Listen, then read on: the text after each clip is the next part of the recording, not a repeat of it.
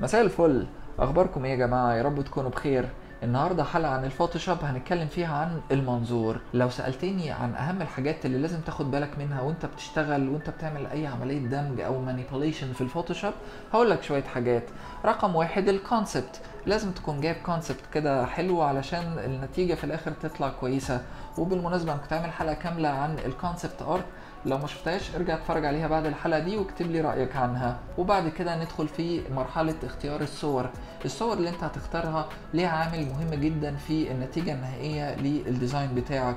فطبعا احرص على إن الصور بتاعتك تكون بالتأكيد ال quality بتاعها عالي. وبعد كده ندخل في ال selection لازم تعمل selection كويس على العناصر اللي انت هتدمجهم مع بعض في الآخر في صورة واحدة. ورابع حاجة هو إن انت تعمل بقى ال color adjustments وال color grading عشان تظبط الظل والنور والألوان بحيث إن التصميم بتاعك يكون متجانس. وفي النهاية بندخل في آخر مرحلة وهي إضافة المؤثرات والتأثيرات الخاصة. كل ده بصراحة مش هيبقى ليه لازمة لو المنظور بتاعك في ال design مش مظبوط. وعلشان كده فوتوشوب أضافوا فلتر اسمه vanishing point اللي بيساعد في حالات كتير جدا وأنت بتشتغل. زي مثلا ال clone stamp. ال clone stamp اللي دايما لو أنت بتشتغل بتبعد عن إنك تاخد عينات من منطقة فيها منظور واضح.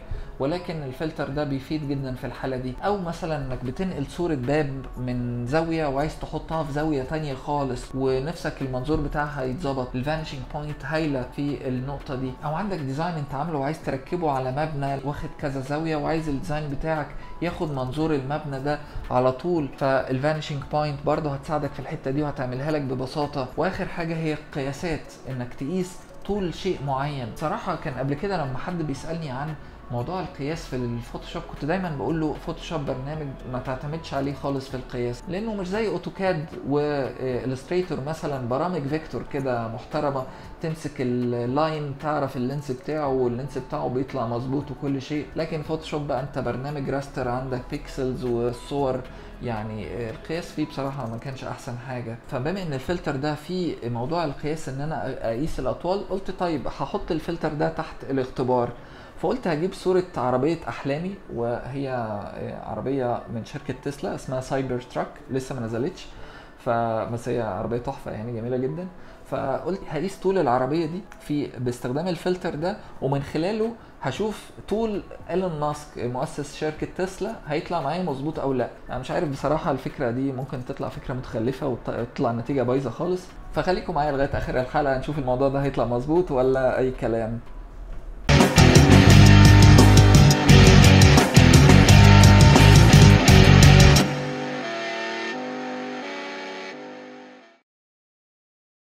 أوكي الموضوع سهل جدا يا جماعة. هفتح الصورة على الفوتوشوب وهعمل new layer علشان شغلي ك clone stamp بيبقى على new layer عشان لو حابب أعدل فيه.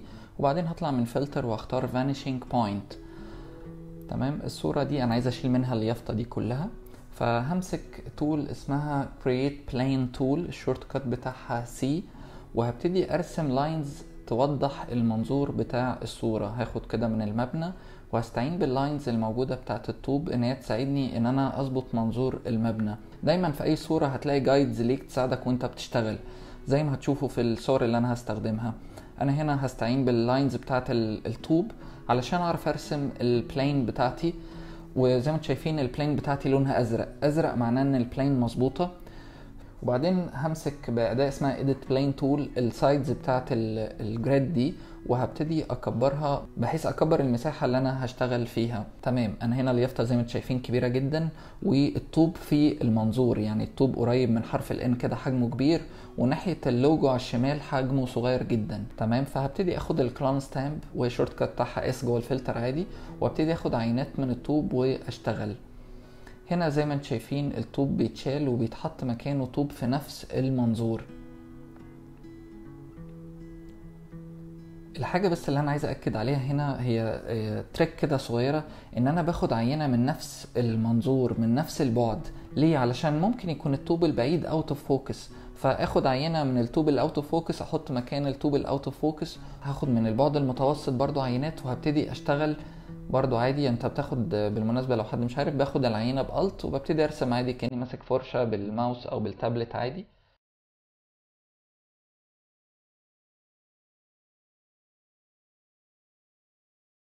عندي الجزئية دي كان فيها distortion بسيط فظبطته عادي مفيش مشكلة.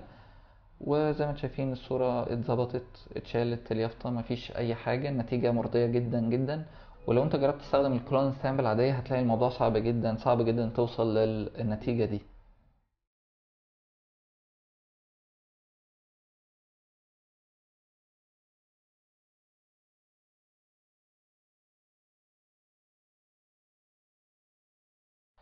معانا صورة تانية. هنا في الأول هحاول أشيل ال basket اللي على الحيطة ده باستخدام ال clone stamp العادية فهاخد عينة من الحيطة وهشتغل فاكتشف إن المربعات اللي موجودة على الحيطة مش بتكبر المفروض إن هي تكبر. وكمان السور الأسود ده المفروض إن هو يعني أنت نفسك انه يكبر بس طبعا ال clone stamp مش بتفكر بالطريقة دي. فالنتيجة طبعا في الآخر هتبقى مش كويسة خالص. زي ما أنتم شايفين المربعات اللي على الشمال الصفرة دي حجمها كبير. المفروض في المنطقة دي تكون حجمها كبير. في فرق كبير جدا في المنظور واضح. وده غير إن الرخام اللي على الأرض طبعا منظوره مش مظبوط خالص. ده ال clone stamp التقليدية. طيب أنا هرجع بال history لورا وهجرب بقى باستخدام ال vanishing point فهعمل برضو new layer وهختار vanishing point وهرسم plane جديدة. هستعين بال lines الموجودة في الحيطة علشان أفهم الفوتوشوب منظور الصورة دي عامل إزاي بالظبط. وهحاول أركز إن المنظور اللي أنا برسمه أو ال grid اللي أنا برسمها أو ال plane اللي أنا برسمها تكون مظبوطة. زي ما اتفقنا ال plane المفروض يكون لونها أزرق.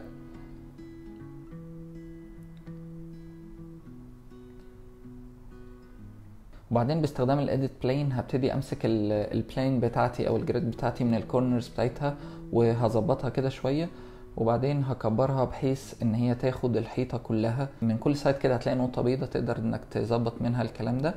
طيب عايز أظبط ال plane بتاع الأرض فهدوس Control وهاخد النقطة البيضة دي واشد grid جديدة زي ما شايفين. ال grid على طول طالع مظبوط. هنا برضو العمود طالع لبره شوية فياخد من النقطة البيضة دي هدوس Control وهسحب لغاية آخر العمود. طلع مظبوط مفيش مشكلة لأن من الأول أول grid انت رسمتها كانت مظبوطة. تمام؟ هصغرها شوية بما يتناسب مع سمك العمود اللي على الحيطة. وبعدين Control تاني وهعدل ال grid بتاعه ال side بقى الكبير بتاع العمود. وكمان هظبط ال grid بتاعه الأرض. وتقدر من هنا كمان تدوس Control وتاخد من النقطة البيضاء وتكمل بقى لغاية آخر النفق ده أو تقريبا دي محطة subway فهاخد ال grid وأكمل لغاية الآخر يمكن أحتاج ده بعدين. طيب أنا هنا عايز أشيل إيه؟ عايز أشيل ال basket ده وعايز أشيل الكتابات اللي على الحيطة. فهاخد عينة من الحيطه وابتدي أشتغل مكان ال basket. تمام؟ في option فوق بس كده عايز أتكلم عنه. في option فوق اسمه heal أنا هتأكد إن ال heal بتاعي في الحالة دي هو heal off يعني بقول للفوتوشوب ما تحاولش إنك تعمل healing أنا لو احتجت healing هعمله أنا بنفسي. تمام؟ طب لو ال heal on إيه الفرق؟ هوريكم كمان شوية. فأنا هبتدي أخد عينات وزي ما أنتم شايفين عينات المربعات الموجودة على الحيطة. كل ما بقرب بتكبر ودي حاجة كويسة جدا.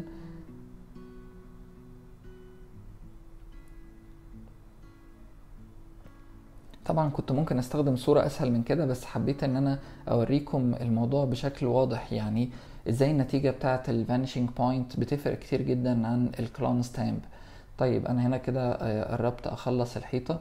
هبتدي أدخل بقى في الرخام اللي على الأرض برضو باخد عينات وببتدي أشتغل. بلاقي المنظور يعني هو بيشيل ال basket وفي نفس الوقت المنظور شغال. أنا هنا خليت ال heal بتاعي luminance ال luminance هيبتدي يظبط الظل والنور. يعني أنا بحط عينة بيبتدي يشوف الظل والنور الموجود في الصورة ويظبطه هو على طول من نفسه. فدي حاجة كويسة جدا. هختار heal off وهشتغل الجزء اللي فوق ده علشان تشوفوا ده اتعمل إزاي. هختار heal off وأشتغل فزي ما شايفين في بقعة بيضة كبيرة كده.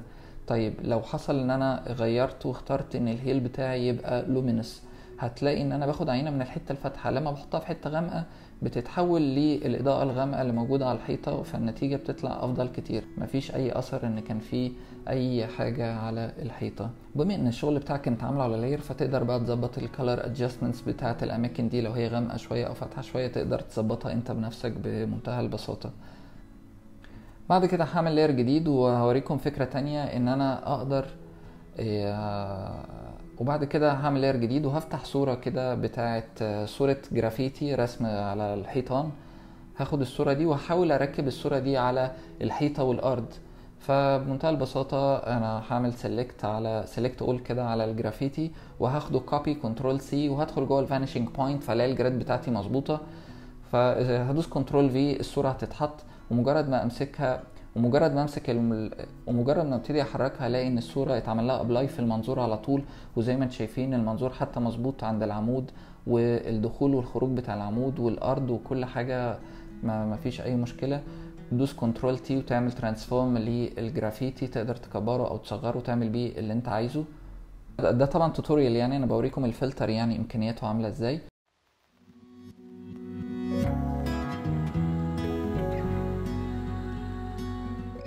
الميزة الثانية لاستخدام فلتر vanishing point هو إمكانية إنك تركب أي design أنت عامله على أي صورة فيها منظور. يعني ممكن تستخدمه ك mock-up ممكن تستخدمه لو أنت عايز تركب مثلا لو أنت مهندس ديكور وعايز تركب عناصر في منظور interior أو exterior ويبقى المنظور بتاعها متوافق مع منظور الصورة الأصلية الفلتر ده هيكون مساعد جدا بصراحة. إزاي هقدر أعمل كده؟ الموضوع بسيط جدا. هروح أعمل layer جديد وبرضه هطلع من فلتر vanishing point.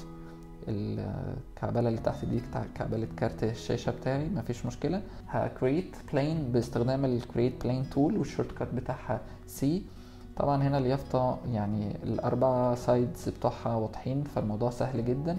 هلاقي ال grid بتاعتي لونها أزرق فده كده معناه مظبوط. هدوس Control من ال side الشمال وهسحب عشان أعمل الجنب التاني بتاع اليافطة اللي موجودة في الصورة. وبعدين باستخدام ال edit plane tool هبتدي أعدل كده ال corners وهعمل شوية adjustments عشان أظبط المنظور يبقى مظبوط. بس في الأول أنا بيبقى تركيزي إن أنا أعمل ال grid بتاعتي أو ال plane بتاعتي مظبوط هدوس okay كده يبقى ال grid بتاعتي متسجلة. ده طبعا هنا sample design أنا عملته كده بسرعة باللوجو بتاع القناة. هاخده Control C copy وهدخله جوه الفلتر. هفتح الفلتر وادوس Control V هينزل ال design بتاعي هينزل في المكان اللي أنا رسمت فيه ال grid هدوس Control T وابتدي أصغره لغاية ما يكون حجم ال design مناسب لمكان ال plane اللي أنا رسمتها.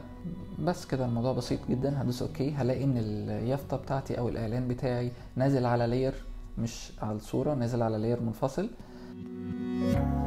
بعدين هعمل layer جديد هطلع ل vanishing point وهعمل render لل grid بتاعتي.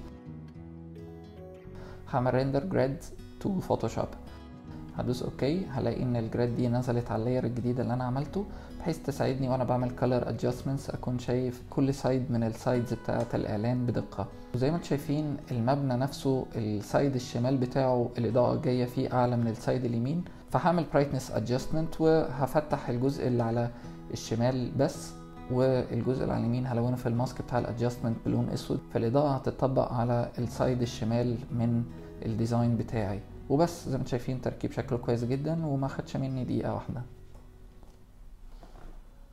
الميزة بقى اللي كنت بكلمكم عليها في ال intro هي موضوع قياس أو معرفة طول أي عنصر موجود في الصورة.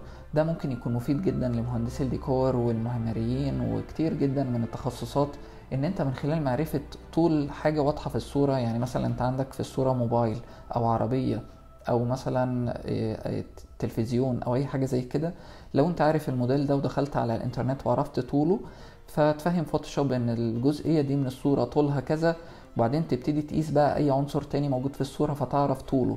هنشوف الموضوع ده هيطلع دقيق ولا لأ. فجبت صورة اللي كانت من مؤتمر شركة تسلا اللي تم الإعلان فيها عن العربية دي. وهقيس طول العربية دي بعد ما أرسم المنظور بتاع الصورة مظبوط وبعد كده هشوف هل طول إيلون ماسك هيطلع هو فعلا طوله الحقيقي ولا لأ. فبرضو هروح أعمل layer جديد وهروح لفلتر vanishing point وهبتدي أرسم ال grid بتاعتي. طيب ال grid بتاعتي هجيبها منين؟ هجيب منين منظور الصورة حتى العربية نفسها مش مربعة مثلا أو مستطيلة؟ يعني منظور مش واضح. بصراحة لو ركزت هتلاقي فيه guides ليك كتير زي مثلا ال lines اللي واضحة بشكل كبير في الأرض. فابتدي أستعين بال lines الموجودة في الأرض إن أنا أرسم منظور الصورة. وبعدين هاجي من ال side ده بقى هبتدي أشتغل هدوس control وأسحب لفوق. فزي ما شايفين أخدت من ال side اللي على اليمين لأن الخط بتاعها ماشي مع الخط بتاع الكاوتش اوطى حتة في العربية. وبعدين هدوس control وأسحب لفوق لغاية ما أوصل لأعلى حتة في العربية. وهبتدي أظبط بقى ال grid بتاعتي بحيث إن هي تكون مظبوطة. وبرضو زي ما اتفقنا أزرق معناه إن ال grid مرسومة صح أحمر معناها إن ال grid فيها مشكلة. بعدين هعمل selection بقى على الجزء بتاع الارتفاع ده وهمسك الأداة اسمها measure tool هقيس بقى من ارتفاع الكاوتش لغاية أعلى حتة في العربية. طبعا ال length مش مكتوب مظبوط فهدخل على النت هعرف طول العربية كام طول العربية متر وتسعين. وبعدين هقيس بقى الطول بتاع إيلون ماسك فزي ما أنتم شايفين طالع مظبوط لدرجة كبيرة. فعشان أتأكد هدخل على الإنترنت مكتوب أهو طول العربية متر وتسعين وإيلون ماسك برضو من site تاني مكتوب برضو قريب جدا من القياس اللي أنا عملته مية ستة وتمانين وسبعة من عشرة. الفكرة من ده إن بس أنا كنت عايز أتأكد إنه القياس ده ممكن يكون جايد ليك مش هيكون أدق حاجة ولكن هيكون قريب جدا للقياس الطبيعي. فأوبشن كويس لو حد احتاجه موجود في الفلتر ده. الراجل طلع طوله مظبوط قريب جدا من طوله الحقيقي. يعني يا رب الفيديو يوصل له يمكن يديلنا كاوتشه من العربية ولا حاجة. بس فبنهاية الحلقة يا رب تكونوا استفدتم. أتمنى تجربوا الفلتر ده بنفسكم ولو عندكم أي استفسار اكتب لي تحت الفيديو. بس ما تنساش أنا شغال على الفوتوشوب version بتاعت 2021 وبس استنوني الأسبوع الجاي إن شاء الله مع موضوع جديد وسلام.